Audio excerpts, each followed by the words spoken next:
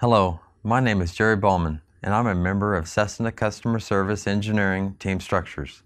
I would like to take this opportunity to discuss paint thickness controls on composite aircraft surfaces.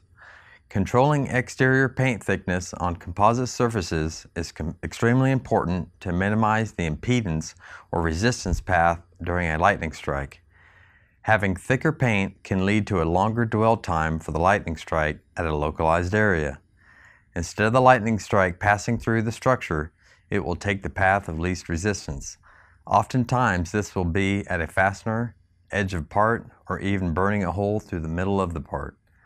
Lightning can cause extensive damage due to the power surge and subsequent voltage buildup among various structural components.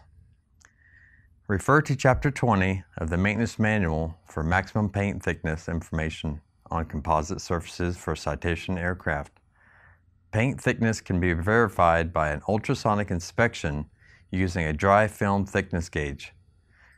Please note that exterior paint thickness includes all materials that are applied to composite surfaces.